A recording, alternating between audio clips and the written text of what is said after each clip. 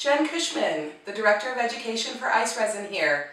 I have got some really great techniques for you using Susan Lenart Kazmer Ice Resin products. So please stay with me and let's have some fun. Thanks for joining me today. I am going to show you how to use the Ice Resin Molding Putty. But first, what I want to do is I want to talk to you a little about the Ice Resin Studio Sheets. These are incredible. The one I have right now underneath here is the um, larger size. It is the um, regular size craft sheets that you'll see from Ranger. And it is a nice, great size to be able to use on your workbench. The other thing we have is we have a couple of studio sheets that are two 9 by 9 sheets that go in this cute little box that we have here. These 9 by 9 sheets are perfect for jewelry. They are also great that when you're traveling and that when you're going places and you really don't feel like taking your big sheet with you and you might actually just have a smaller space to work on. They're also perfect because they are great for bezels and for smaller projects. So um, the other thing I love, love, love about the studio sheets is they are non-stick. So you really have to have this when working with ice resin. This is a drip of resin and it's been dried and it dropped right on the studio sheet. And when it was done and over with, I peeled this right off and it was no big deal. So anything else you have, you're not gonna be able to have the resin peel right off of this. So there's no mistakes with these studio sheets. You gotta have them.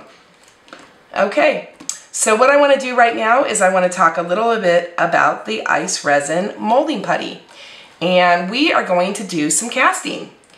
So casting is um, an amazing thing. Susan developed ice resin and when she developed it, she actually started casting objects with them immediately.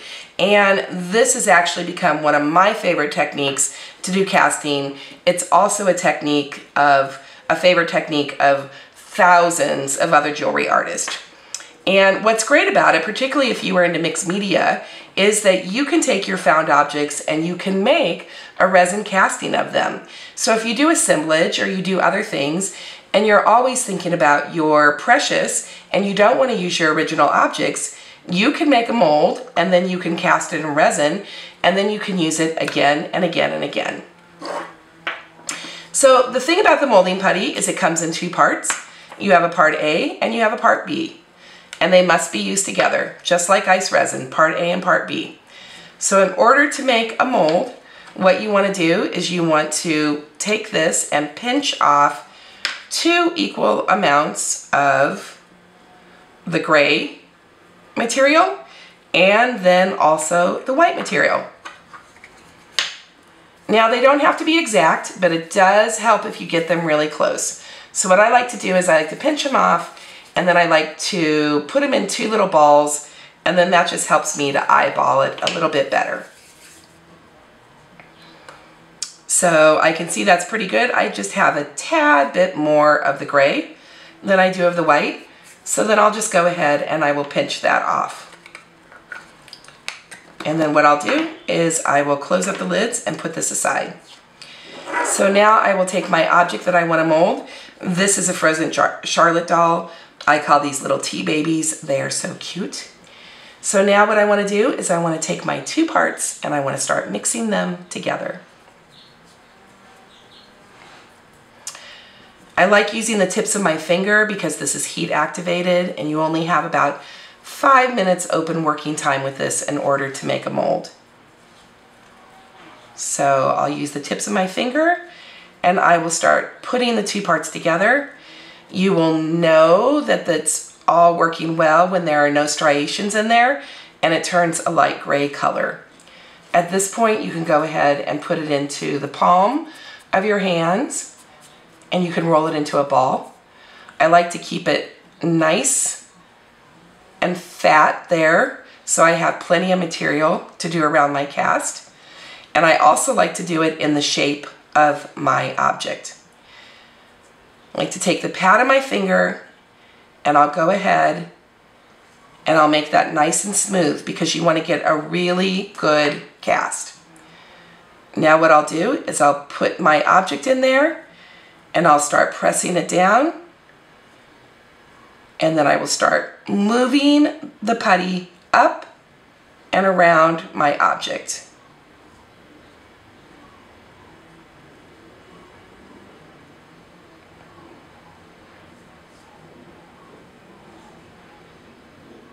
Again, you want to work quickly. You have about five minutes before this sets up.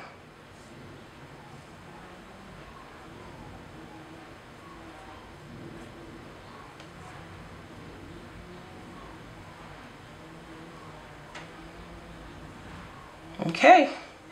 And then what I like to do is I like to hold the mold with my hands just really gently for a few extra minutes. And then what that does is that allows the mold to stay nice and tight fitting against the object. I could put it right down, but one of the things is it might bag open a little bit or just pull away from the edges and the sides. So I like to just sit here and hold it.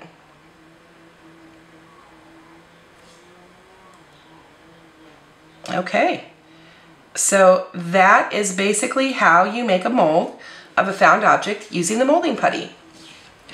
So what I want to do really quick is I want to show you some molds that I've made and some that I've already poured ice resin into.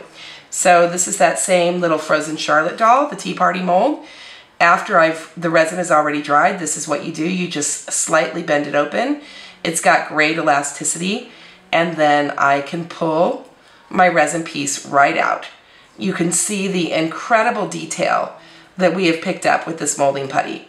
It is absolutely gorgeous. There's no bubbles to it. It's a perfect cast every single time. You can reuse this mold 20, 30, 35 times. And um, so it's very important to make a really good cast out of it because once you make your mold, you can reuse it. You can use it in resin. You can mold it, put it in polymer clay. You can use it for paper clay. This is a lock that I made a mold of. You can see that it came out and I have a resin lock. And this is a gear. This was a really deep cast. I've got it nice and tight against there. So this one is really nice and tight. But you can see how flexible it is and now I've pulled out the gear. So these are my resin castings. I can go ahead and rub color onto these. I can put iced enamels on them. I can go ahead and I can fix them for other mixed media and jewelry product projects. The last thing I want to do is I want to show you how to go ahead and pour the resin into the mold. So this is some resin that I've already mixed up. And I want to put it straight into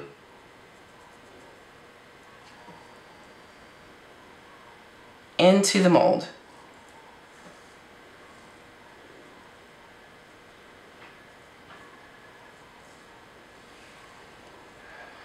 I will set that aside. Again, that's six to eight hours to dry. And then I will be able to have them have that glass-like look to them and pop them right out of the mold. So I hope you enjoyed this little tutorial on making molds from found objects using the molding putty. Definitely use the studio sheets and then casting resin.